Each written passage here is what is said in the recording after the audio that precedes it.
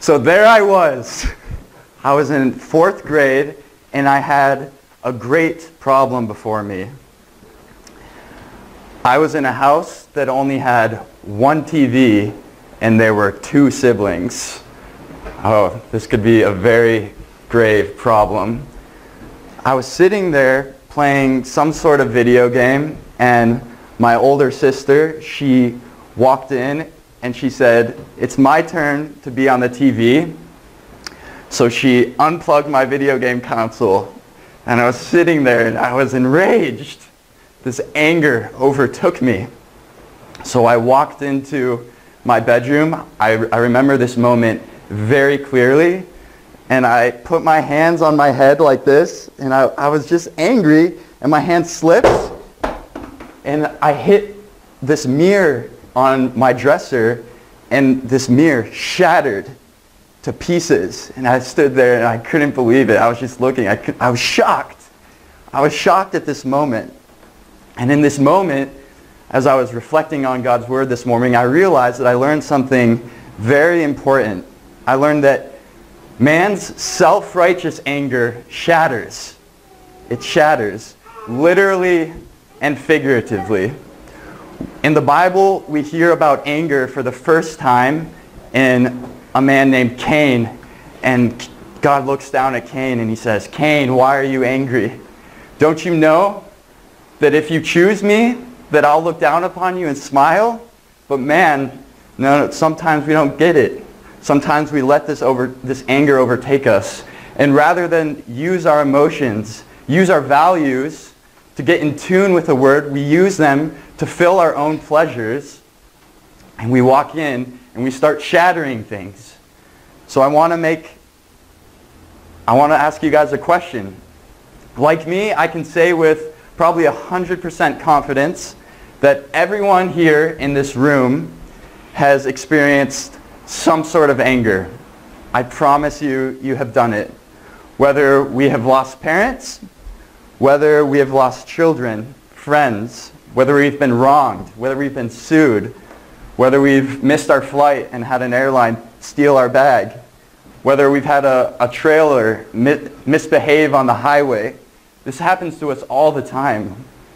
The world is ugly, and we are the ones that get to choose how we are, we are going to react in every situation. The list goes on and on and on and on. This life, it's going to hit us with ripples, waves, tsunamis. Everything is going to come at us, but it's up to us. It's up to us to choose how we are going to react and how are we going to develop a vision that shapes our values and a story to be part of that makes us angry about the right things. It's a powerful notion. I think it, it's, it's something we really have to ask ourselves. Do we even care? Do we even care? And if we do care, do we have a plan for righteous anger that brings restoration, that restores, rather than shatters? Can we channel our anger into something that when you look at ourselves, we no longer see a shattered image?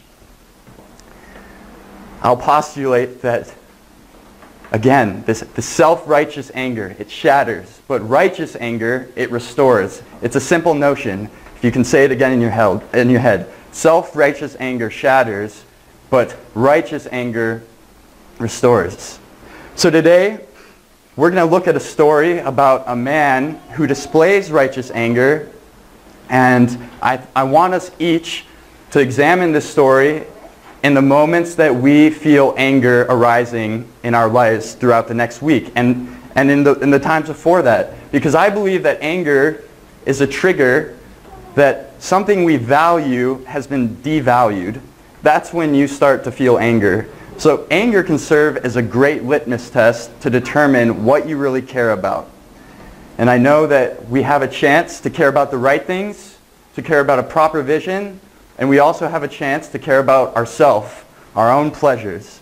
So if you'll turn with me to 1 Samuel chapter 10, verse 25. And we're going to read about a story of Saul's first test as the anointed king of Israel. And we left off last, last time I was in Samuel in, in, the, in the end of chapter 10, but I wanted to start a tiny bit before. So 1 Samuel chapter 10, verse 25. So then Samuel told the people the rights and duties of the kingship, and he wrote them in a book and laid it up before the Lord. Then Samuel sent all the people away, each one to his home. Saul also went to his home at Gibeah, and with him went men of valor whose hearts God had touched. But some worthless fellow said, How can this man save us? And they despised him and brought him no present, but he held his peace. Now I'm going to pause there.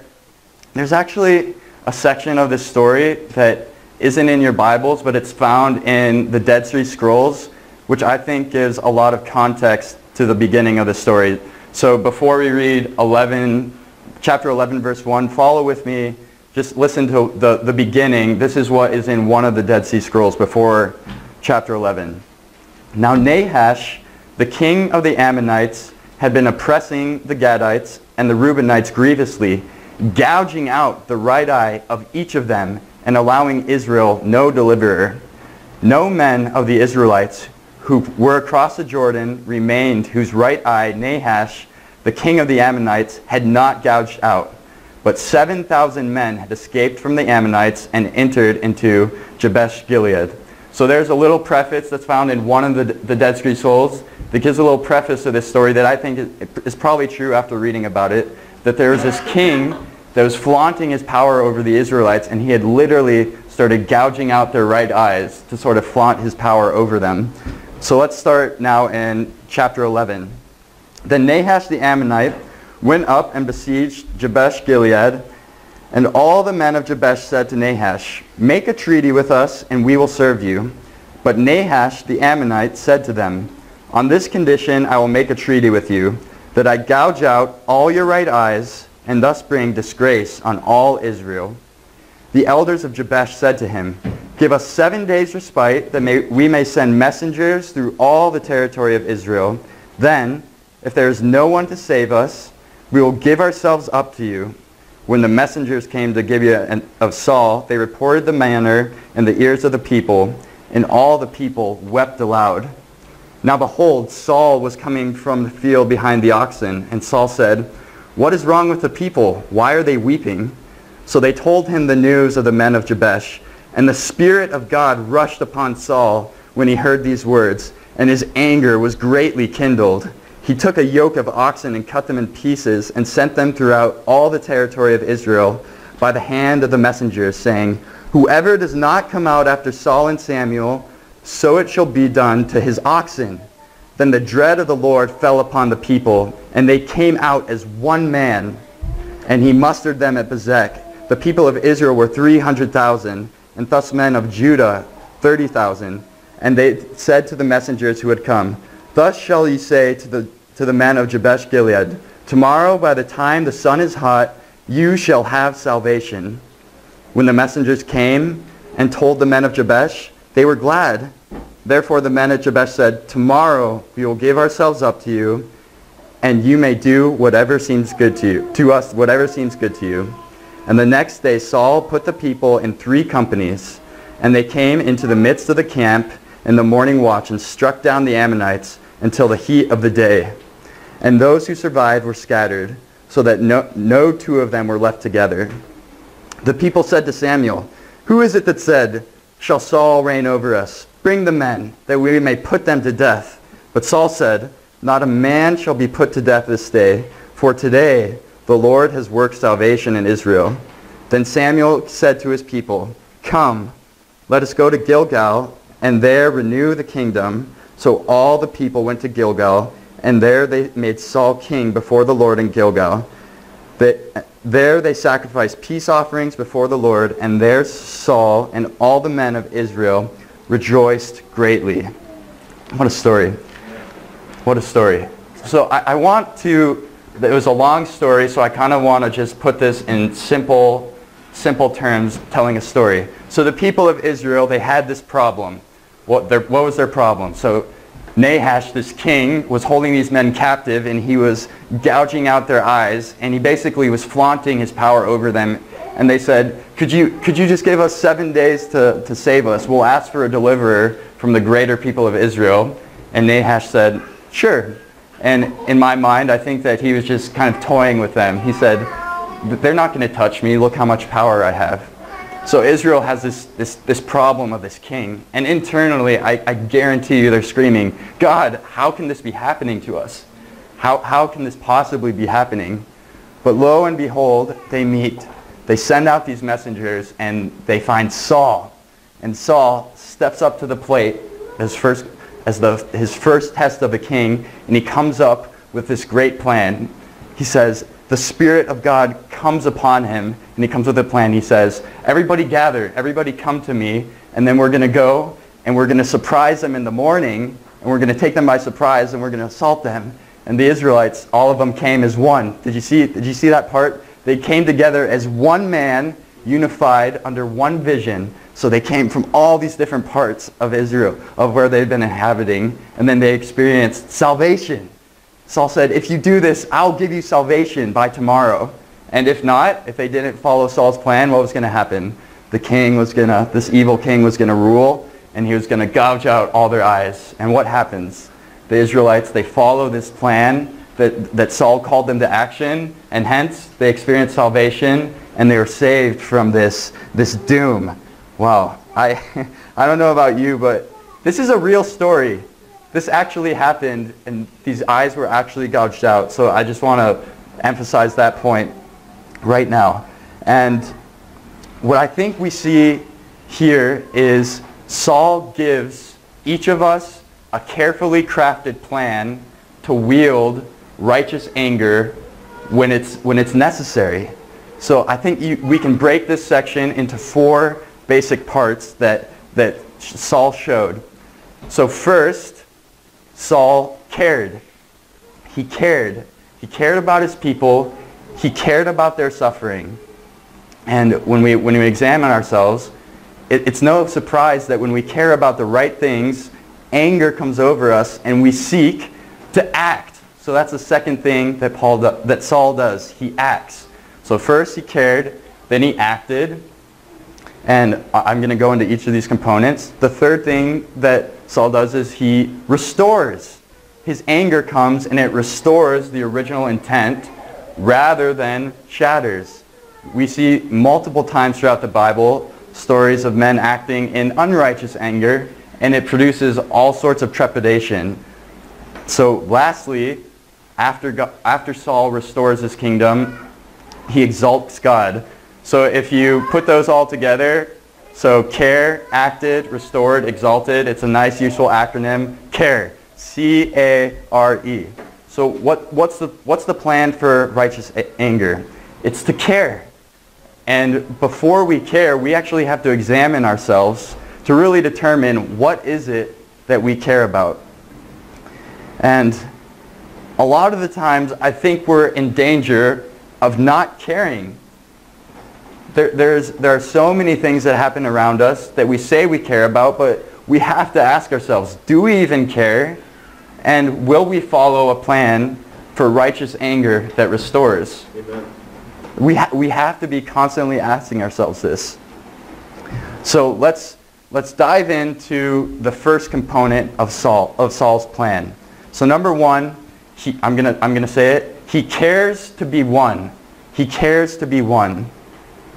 And when I, when I first opened, I, I, opened with a story of anger. And I said that anger, it serves as this, as this litmus test to determine the things we care or don't care about. It has different triggers. I bet each of you has a trigger that if I figured out, if I started asking around, I could start triggering your anger.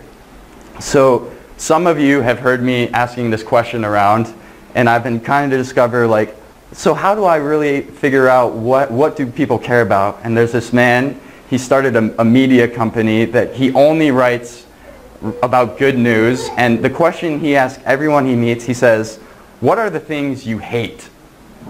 What are the things you hate? And by determining the things that people hate, he then postulates that he can determine what people actually care about. So if you think about it, what people hate or what angers them, if you think of, you can really get to what people care about. So that when we think about our angers, we should be examining ourselves and saying, oh, is this, is this anger actually given rise by something that's godly?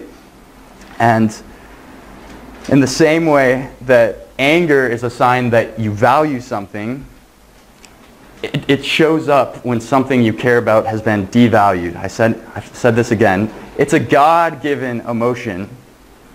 And in Ephesians 4:26 and 27, Paul says this, "Be angry and do not sin.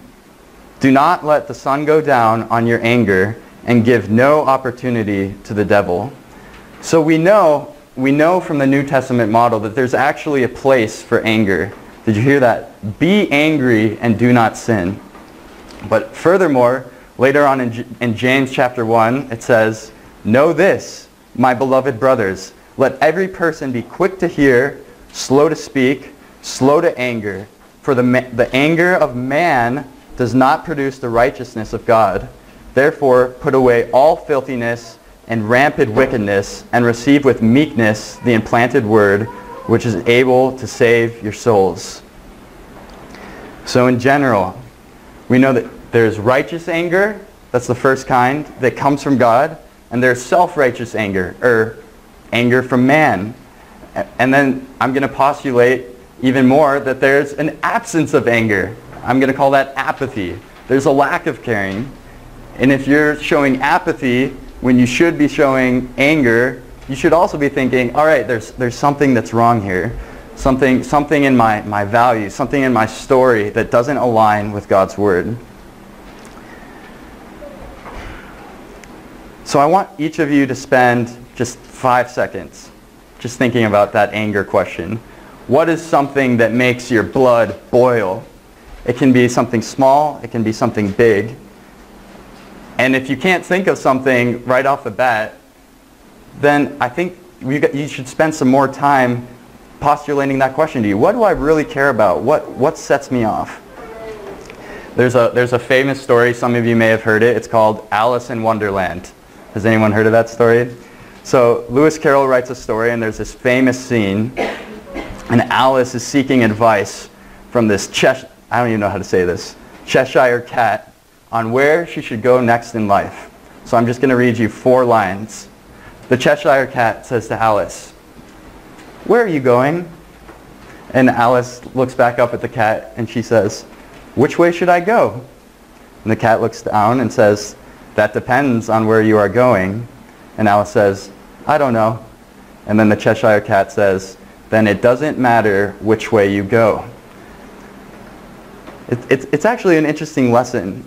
If we're lost and we don't have direction in our lives, if we don't have meaning, if we don't have goals, it doesn't matter where we go. The, the Cheshire Cat is so right. We need to be constantly setting goals for ourselves.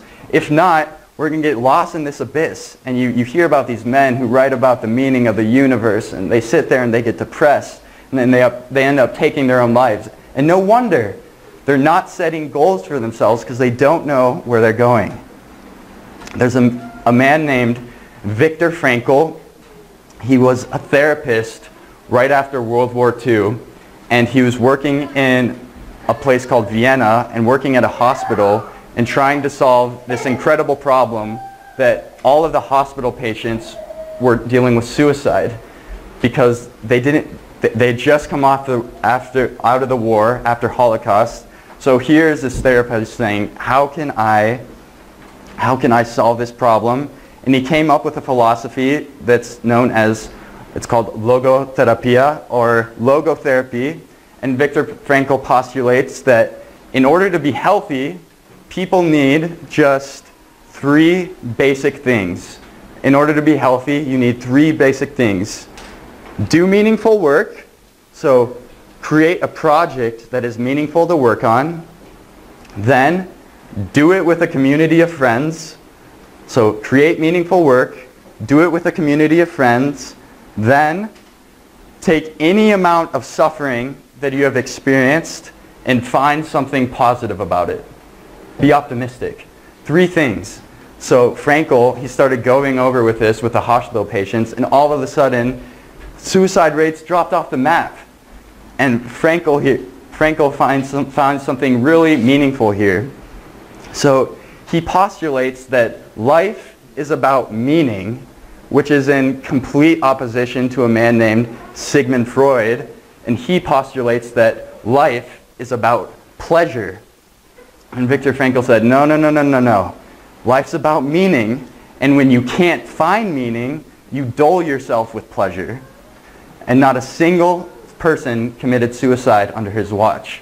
And I look at this and I think, that's powerful. Can you think about this? So when you, when you have anger about something insignificant, I'm going to I'm gonna present a thesis that in that moment, you're about your pleasure, not about your meaning. So I'll give you an example. You're driving the city streets of Boston. Someone cuts you off. I know this has never happened. Brother Earl, it's never happened to anyone here. And all of a sudden you get anger. You get angry. You can, you can postulate that in that moment you're all about your own pleasure and you've forgotten about your narrative. You've forgotten about your, your story.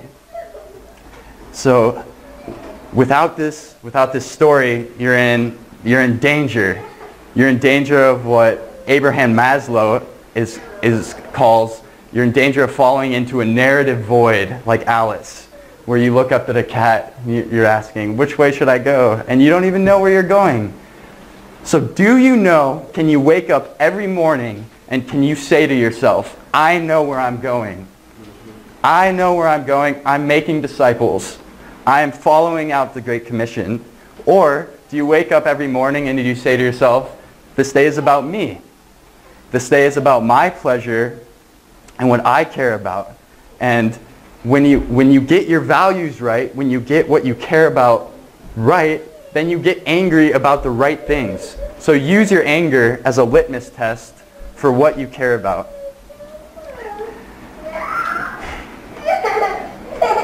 One of my, probably my favorite verses in, in this whole chapter comes in, in verse 7, and I'm just going to read it one more time. So he took a yoke of oxen and cut them in pieces and sent them throughout all the territory of Israel by the hand of the messengers, saying, Whoever does not come out after Saul and Samuel, so it shall be done to his oxen. Then the dread of the Lord fell upon the people, and they came out as one man. They came out as one man. So in this is a story, we, we actually learn a really positive, a positive lesson that if you as a people, if you can wake up and care about the same things, you can actually operate as a single unit, as one man, as opposed to acting as a decentralized group of individuals.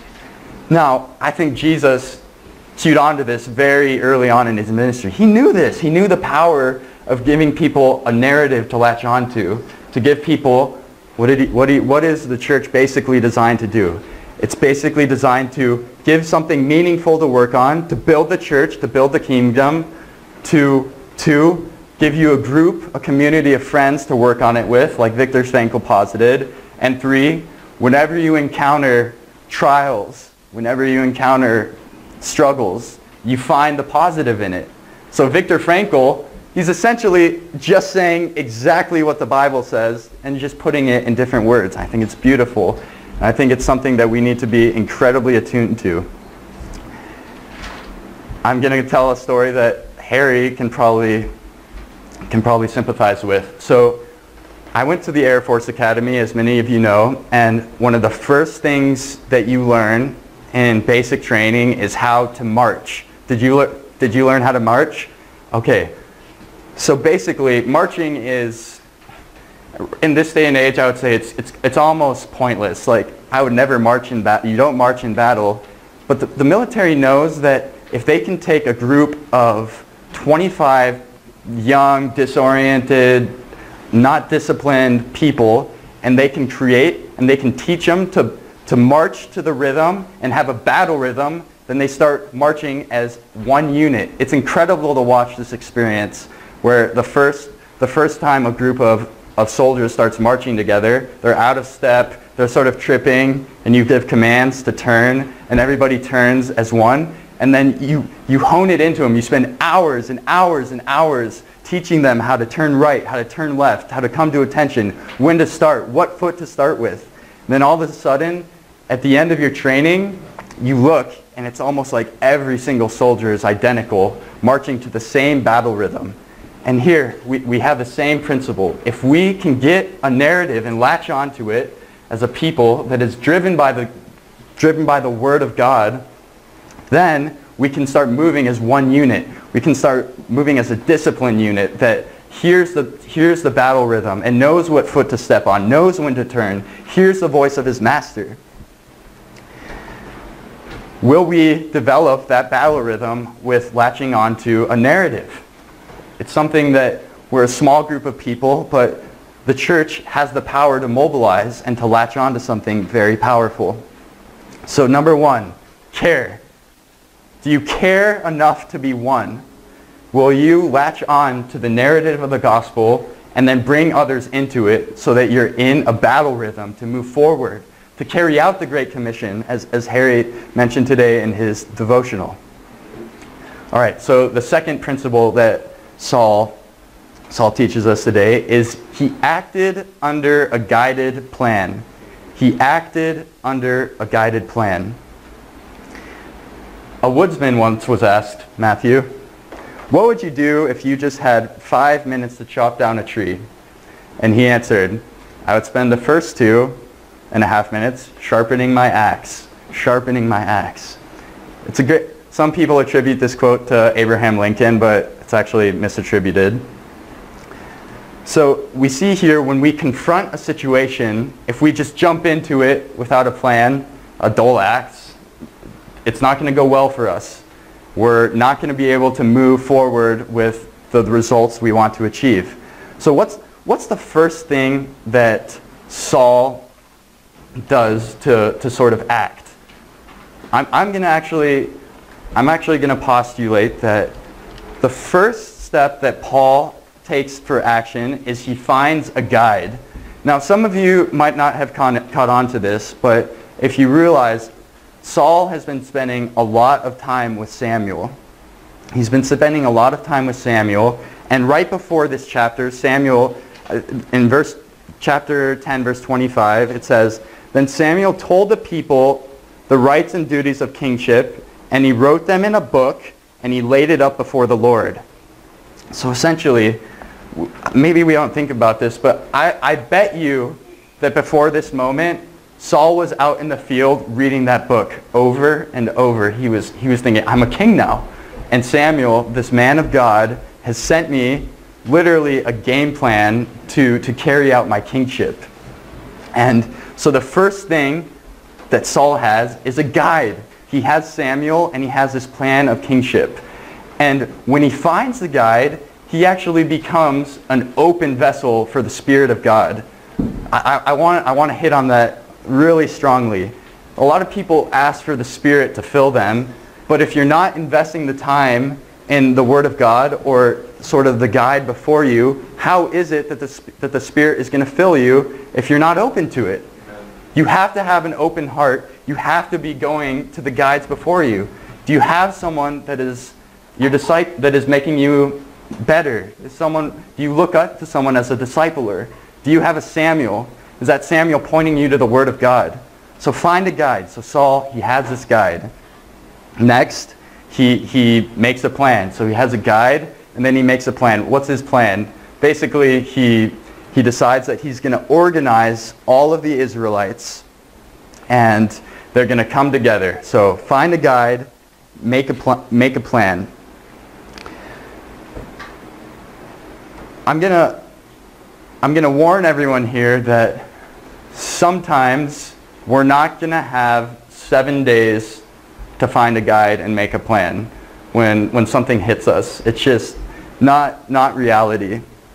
So in the moments where we're not being confronted with life's hardships, we should be training for the moments when they do come up. Like this axe narrative that I brought up in the beginning. You know that you're going to have a tree to cut down.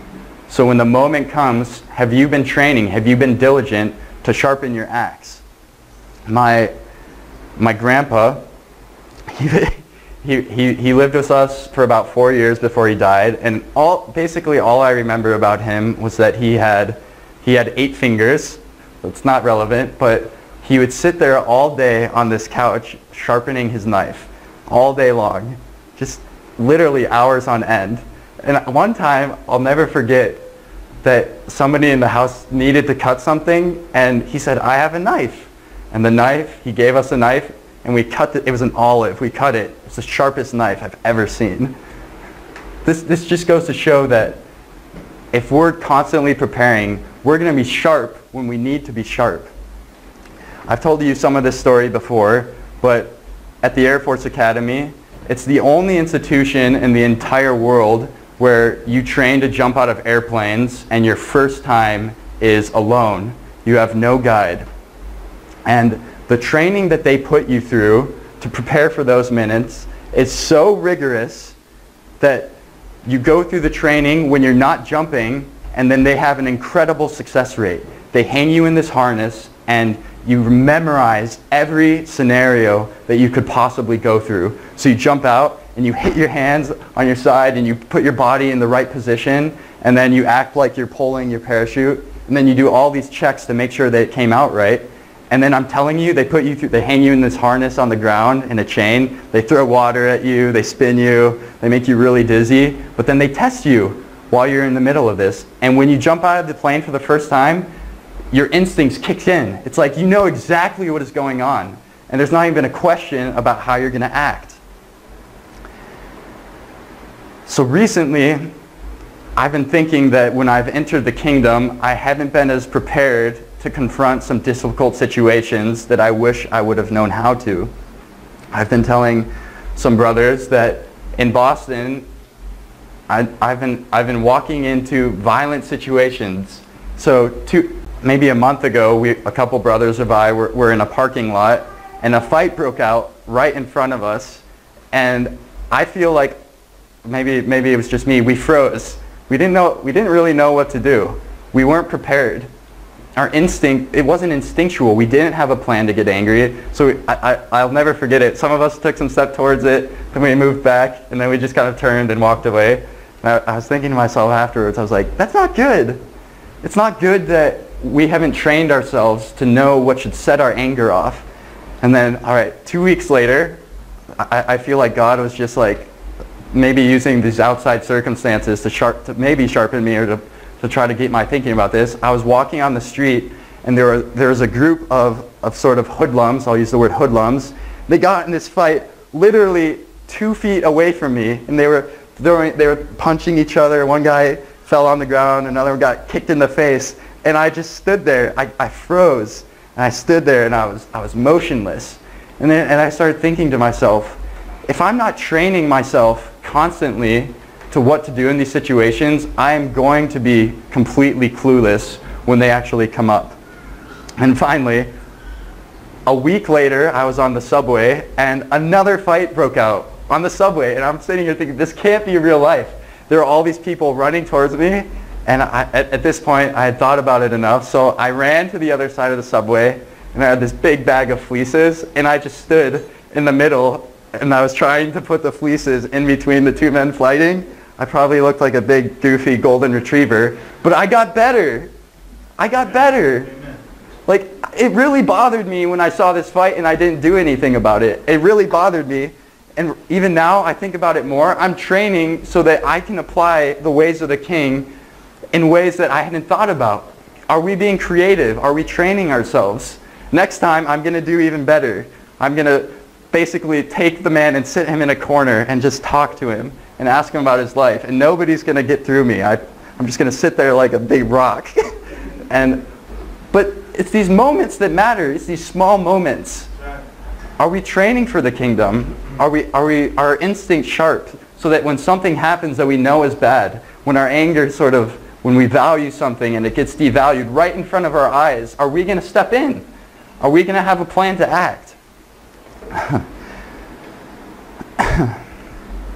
so finally, once we, once we have this plan, we find this guide, we make this plan, would posture that we execute with confidence. We can be extremely confident in the, the, the plan that we have and, the, and what the guide has given us because we as Christians have a guide with an eternal perspective. Have you ever thought about that? We can be extremely confident when we, we lay this out, we follow the plan of the Bible, and we give our all. We execute with confidence. So we look that, that Saul, the Spirit rushed over him, and that I would say that he had extreme amount of confidence. He knew exactly what to do because he had a guide, he had a plan, and he had confidence. Many people kind of throw this at me over and over and over. I don't know how many people. They say that Saul's righteous anger in this, in this chapter basically gives Christians a, a, a blank check to use violence today. And then they, they'll, they'll say, okay, look at Saul, look at David, and then they'll, they'll turn to the New Testament. They'll turn to places like Matthew and Luke where Jesus clears out the temple. They'll say, look at Jesus' righteous anger. Look at him use this violence. And I want, I want to just throw it, this is throw in a caveat that we can execute our plan with confidence because we are under the purview of Jesus as king and that this non-resistance position, it's actually what Jesus lived out. And he, didn't, he doesn't go against his own words and neither should we ever be tempted to do so. And we have this great guide, so let, let's follow his plan and let's, let's tune into everything that he has to offer. And here's another caveat. Many people today are confusing acting with sort of superficial self-righteous acting. Let me, let me give you some examples. So some people, there have been a lot of events going on in the world, and I'm going to give you some examples of superficial action. Number one, voting. Brother Matthew gave a great sermon about this. He said, voting is an abdication of responsibility. So there's a huge movement in the world that when there's something wrong, we actually, our plan to act is to cast a vote in a ballot, but it doesn't restore anything. We should be looking at the outcomes for our action. Number two, broadcasting to the world how anger, angry you are without doing anything. Okay, I, will be the first to admit that I have been guilty about this where I read a story in the news and I, I, kind of come before someone and I'm like, did you read about this? How angry does this make you feel? And then they kind of say, yeah, it makes you angry. But if you get angry with no, act, with no plan of action, it's not righteous anger. You, you can't put it under that category. So examine your anger and have a plan of action if you're going to boast about it, if anything. All right. So first we have Saul cared about something and then he acted. He acted under a guide, and he, he cared enough about something to come together as one unit. So the third thing that we should examine when we're looking at righteous anger is the outcome. Does your anger produce restoration rather than shattering? It's actually a really simple, simple concept. When you get angry, is the outcome, is it restorative or does it shatter? when all is said and done, when you, when you got angry and you, you had a plan and you did something, can you look back at it and you, can you say, hey, I actually restored this relationship? Or did you create more problems? When you evaluated, is your family in more tension? Is, um, are your children more angry with you? Are they misbehaving? So you have th these double-sided outcomes and righteous anger always produces restoration. So which is it going to be? Are you going to use your emotions to restore? Or are you going to use your emotions to shatter? I get to tell another story here. Okay, so we were, I, I, many of you know that I grew up in, in Ecuador and I look, I look up to my dad greatly because of the, some, some of the stories that I can think about where he, he acted in this really surprising way. So we were sitting, we were sitting at a restaurant eating, and I'm still flabbergasted when I see people leave their phones out. on sort of dinner tables or anywhere in the open because in Ecuador, people would come and they'd swipe them and they'd run away. So we were sitting there eating and, and this little girl, we look over in the corner and there's this little girl that had just, she, she took a phone and she was running away and a security guard had caught her and the security guard grabbed her by, this little girl, she must have been the age of Jerusalem, maybe smaller, and he was taking her by the hair and he was dragging her through the street. Just, and all of these people were kind of like cheering on. And we were sitting there as a family watching this in disbelief. We couldn't believe what was happening. I was frozen. Everyone there was, fr- there's this little girl screaming, she's crying, and, and my dad, he, I'll never forget this. He stood up, he didn't know what to do, but he walked up. Nobody else was approaching the situation. Everybody knew that something was off, and he looked, he pointed to the security guard. He said, "You're under arrest. I'm putting you under citizen's arrest." And everyone was, every, the whole crowd was kind of sitting here thinking, like, "Is this possible? Can, can this American man put the security guard under arrest?" And do you know what happened? The security guard let go of this little girl, and he just he stood there. He stood there like he was under arrest. And I'm thinking to myself, how, how, how is this even possible? I would have never come up with that. But this just goes to show in every situation there's a third way that we often don't think about. We talk about it a lot, but are we applying it? So I just I want to push us all to bring us hope that there are these third ways. There are ways that we can be creative and that we can actually restore the situation with our anger rather than, can you imagine if my dad would have gone and tackled him and maybe they both would have gone to jail? Like there, there's a third way. That's what we should be fighting for. Amen.